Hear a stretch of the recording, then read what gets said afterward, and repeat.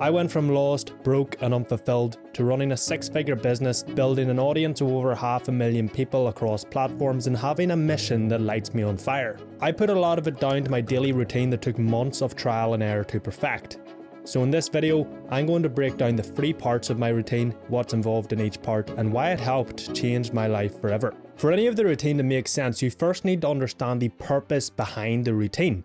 After all, when you think about it, a routine isn't anything special. A routine is simply just a series of habits designed to obtain a certain outcome. If you don't know what the outcome is you want to achieve with a routine, that routine is useless and in fact, instead of streamlining your day, it'll slow you down and hold you back. So the purpose of my daily routine has two facets. One, achieve my goals.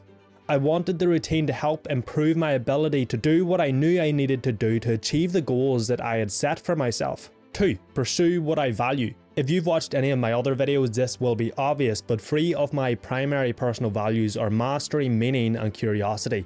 I wanted to use my routine to maximize those three things in my day. Regardless of what routine you're building, whether it's a morning routine or a daily routine, if you want your routine to be effective, you need to understand what the goal of that routine is. The first part of my daily routine is what I call build. This is where I do all my cognitive important work for the day whether it's creating content, building out a new project, or whatever else I have to do. This is typically between 5am and 12pm and starts with me doing my hardest, most important task first and then working through my tasks in order of priority. Now, the reason I start my day with my hardest and most important task is because willpower and focus are both finite and limited. As you go through your day, doing work, having conversations, making decisions, they both get used up and with your hardest task being your hardest task, it requires the most amount of willpower and focus to complete to a high standard. I found that if I put it off till later in the day, I would struggle to complete it to a standard that I was happy with, that I was proud of, and the longer I left it, the less likely I was to actually do it.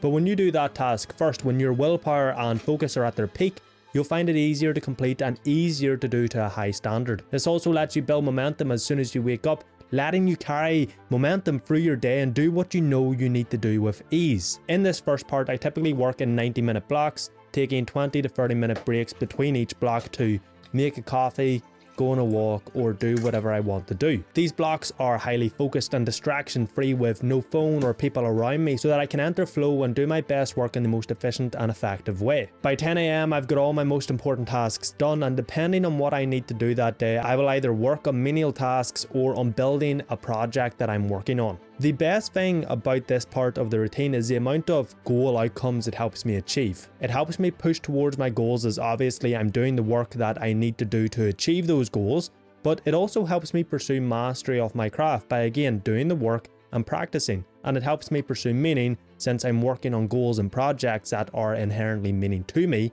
creating meaning in the work and therefore meaning in my life. Once it hits 12pm, I make some food, relax, and then make an Instagram and LinkedIn post my build part of the day is done. The main reason I made this part of my routine is because a massive mistake most people make, and this used to be me, is that they don't dedicate a specific part of their day to doing the work that will move them toward their goals. They know they have certain tasks to do, but instead of dedicating a part of their day solely to completing them so that they can maximize their chances of completing them consistently day after day, they decide on the day to try and find time for that work which normally results in procrastination and low quality work. So if you want to get the work you know you need to do done consistently and to a high quality, you need to dedicate a part of your day, preferably as early as possible in the day, to building and working on your goals. Part 2 Sweat. Come 2pm, I take Rocky on a walk. He's a pup, so I'm still training him how to walk properly on the lead, so that's all fun and games. But this gets me some quality time outside and gets my steps in. After the walk, it's around 3pm and I hit the gym. Now, I'm fortunate enough to have a garage gym and can train when I want with zero distractions and can blast my music as loud as I want. This is such a foundational part of my day and honestly, it should be a foundational part of every single person's daily routine. If you're not training and pushing your body to its limits, making it sweat every single day, you're limiting your potential in every area of your life.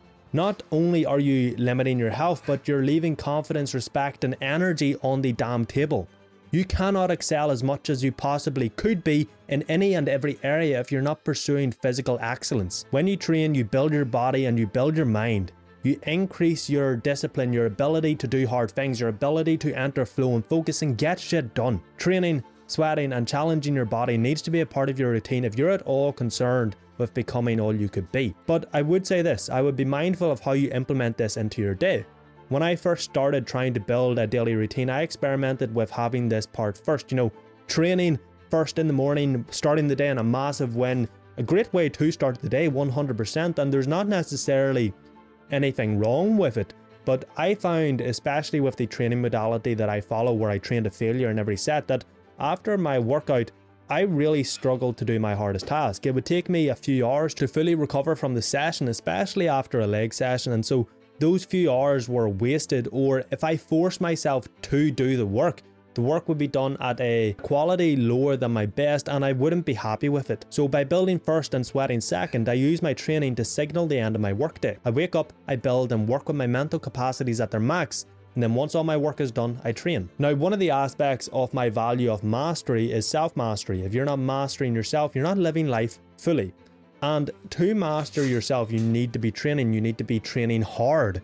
That is the primary goal outcome of this second block to help pursue self mastery and personal excellence. I'm a firm believer that how you do one thing is how you do everything. So, no matter how much money you make or how good your relationships are, if you're not working out, you're less than your best and leaving potential untapped. Now, I typically finish training around half 4 5 pm depending on the session and when I start. After I finish, I will make food, check my DMs, comments, and emails, and then start part 3. And again, with training, if you don't have a specific portion of your day dedicated to working out, and on the day try to find time to do it, you're not going to do it, or at least you're much less likely to do it because the thing about training and working on your goals is that both of these things are rather hard. They're damn hard. They're not fucking easy, okay?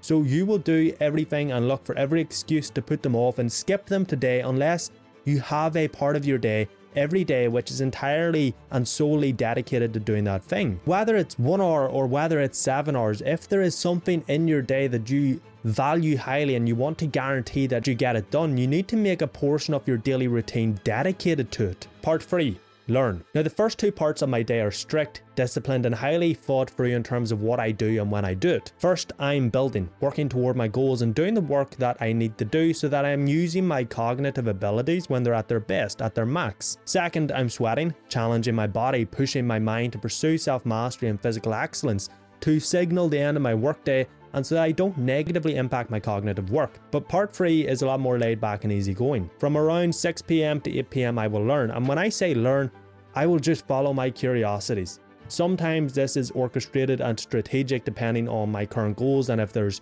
something specific I need to learn to achieve them, but otherwise this is just following anything that grabs me or anything I'm interested in. Typically this involves me watching YouTube videos, taking courses, listening to podcasts or reading a book.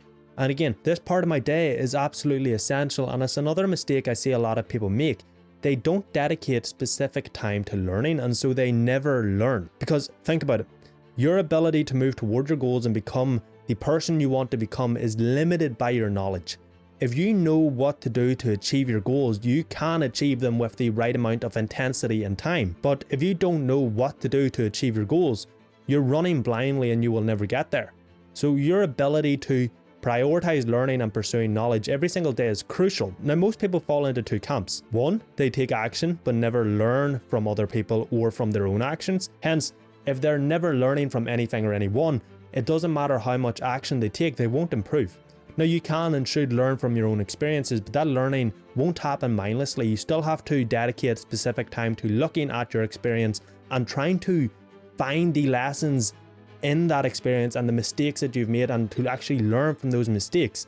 Learning, especially from your own experiences, doesn't happen by accident. Two, they learn loads but never take action. A lot of people spend hours every day reading books, watching YouTube videos, taking courses, and all the rest, but they never enter the damn arena and put into practice what they're learning. And learning is great, obviously, but progress can only be gotten through the creation of value, and value can only be created through action. So if you never put into practice what you learn, if you never enter the arena, you will never improve. A lot of progress and achieving your goals comes down to finding this balance. It comes down to your ability to prioritize both learning and taking action so that you can improve your knowledge and therefore your ability to take more informed action, but also that you can take the damn action and stop avoiding the work. And that is why I love this routine so much. I start my day with action, with building something that is meaningful to me. I then challenge my body and sweat, pumping my blood with endorphins, and then I follow my curiosities learning and improving my knowledge. It's a constant cycle of progress and improvement in each area of my life that allows me to achieve my goals and pursue mastery, meaning and curiosity. My friend, as always, thank you for watching. That is it for this video. Let me know in the comments below if you have a daily routine similar to this and what it looks like. I am always interested in learning about people's routines. That is it for this video though. Make sure you check out this video here on how I actually stick to this routine and stick to my schedules click that subscribe button and I will see you in the next one.